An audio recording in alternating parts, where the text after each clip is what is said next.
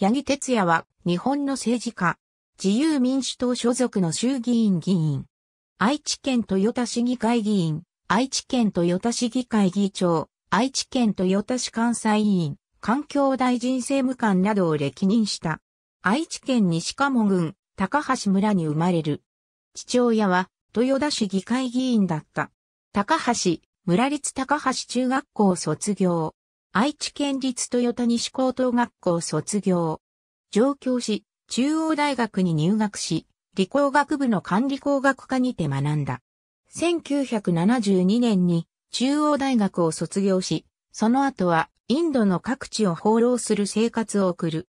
しかし、寄生虫に寄生されるなど過酷な生活を送る。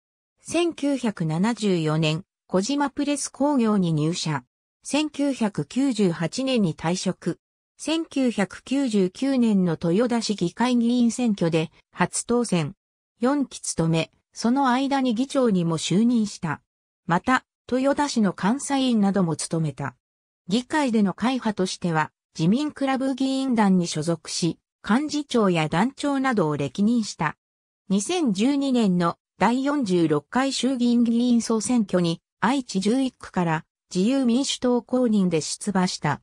小選挙区では民主党の古本慎一郎に敗れたが、比例東海ブロックで復活して初当選した。この総選挙で当選した党発の薄い新人議員を集めて日本を明るくする会を結成し、その会長に就任。衆議院副議長などを歴任した江藤誠志郎を相談役に招聘した。2014年の第47回衆議院議員総選挙にて愛知11区から出馬。小選挙区では再び古本に敗れたが、比例復活で再選。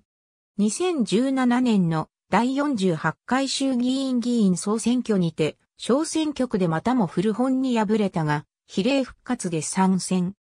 2020年10月、次期衆議院議員総選挙に出馬せず引退する意向を示したが、2021年5月には、後継候補の擁立が決まらず、支援者や地方議員からの要望を受け引退を撤回し出馬する意向を示した。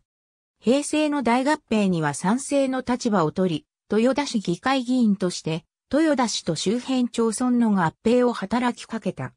豊田市と周辺町村の地方議会議員による意見交換の場を設け、合併の必要性を主張した。第46回衆議院議員総選挙では、自身を含め多くの者が初当選を果たした。これらの新人議員同士で互いに情報交換できる場が必要だと感じたことから、日本を明るくする会の結成につながることになった。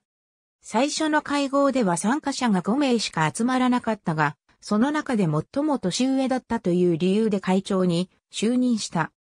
また、会の名称の由来も、この5名の頭髪の状況がたまたま偶然にも一致していたことから、それにちなんだものである。当選を重ね、重責を担うポストにつき、実績と経験を積んでいって、初めて日本を明るくできる。応援演説にお互いが出向いたりして、助け合っていきたいと主張しており、従来の派閥の互助会的な機能も果たそうと試みている。